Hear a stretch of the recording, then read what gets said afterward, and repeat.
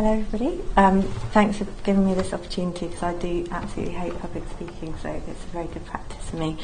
Um, so yeah, I'm going to talk to you about the Intimacy Lab, which was um, something that we did at, at the Barbican last week.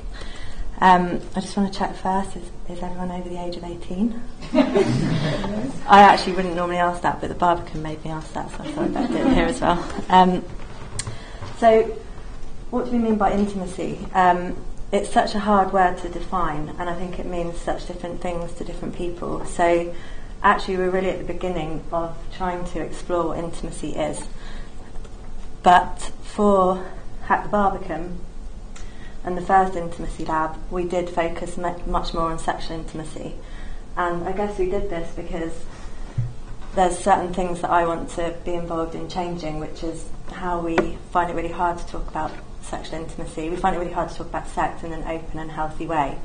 And the conversation tends to be either about the sort of medical and the biological, or it's the sort of really titillating hedonistic stuff. And actually, when I did my MSc in psychology, I looked at sex in relation to well-being, and that's the stuff I'm really interested in. So I'm just going to talk you uh, really quickly through what actually happened at the intimacy lab. Um, the first thing that we had was something called Pillow Talk. Um, didn't actually work very well, but we learned a lot from it. Um, so the idea with, with, this is we had three different microphones set up for people to go and sort of whisper into, and we had questions up asking people what makes you feel known, what would could you share with us that makes you feel vulnerable, and then we had some headphones further along where they could listen to what everybody had been saying during the course of the evening we had a series of talks ranging from somebody who does magic with materials, kind of making the unseen seen, through to a sex therapist. So I wanted to try and avoid too much academic talk and I wanted to try and avoid too much of the kind of practitioner sexual health focus. So I tried to curate it sort of somewhere in between. Um, then we had something called Scales of Intimacy, which was really, which was actually a, something on a screen where we, excuse the really explicit imagery there, um, where we were really interested in people. People could move these around, and we built a canvas up over the course of the two evenings, and we were really interested in people putting them together in ways that represented intimacy for them. And some people put them in, you know, sexual poses, and other people actually put them almost quite far away from one another, but there was something intimate about how they were relating. Um, the one that's probably most relevant to this talk, because it's the sort of digital aspect, is we. Um, it's called a really annoying name called crafting of sexual expression, but actually what it is is just 3D printing sex toys. So, um,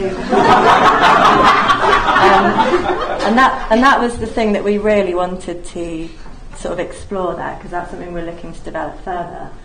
Um, and we weren't really sure whether people would really want to sit down and design their own sex toy. So we tried to create it as an experience. We gave people a design brief, asking them really different questions to help them get in the headspace because it's very hard to just sit down and design something. And people were doing it with their partners as well, so it was a great way for people to have a conversation with somebody else and communicate about their desires. Um, and it really worked. We had everyone that sat down to do it did it, which was a great discovery for us. Um, and then the last thing was table for two, where people could sit down and choose to have dinner with a stranger or with somebody that they know, as a way of exploring intimacy when you're eating. Oh no, that wasn't the last one. This is the last one, which um, is called the Intimate Mirror. And there's a couple of people in the audience here that I know did this, and it's two authors, Zoe and Sarah, who sit there with their typewriters and it's kind of like a confessional or just a you share with them they ask you questions and they type up for you something that you get to take away in a sealed envelope. It's not digital no one else will ever see it. It's something for you to take away about what you have shared with them around your desires your experiences your fantasies. Um, that was that. So yeah what next? We're I'm, I'm starting to sort of go out and talk about it. Um, we're hopefully going to partner up with the Wellcome Trust. Um, they've got a big study called the Natsal study, which is the largest scientific study of sex since the Kinsey report. And the lead researcher from that we're sort of meeting with around is this is, is the 3D printing stuff particularly a way of doing sex research and doing qualitative research alongside their quant research. Um, we're going to do more events, hopefully set up a sex toy business. Um, and that's the last slide. So yeah, come and find me if you've got any thoughts. Um, I'd love to hear them. And that's my details.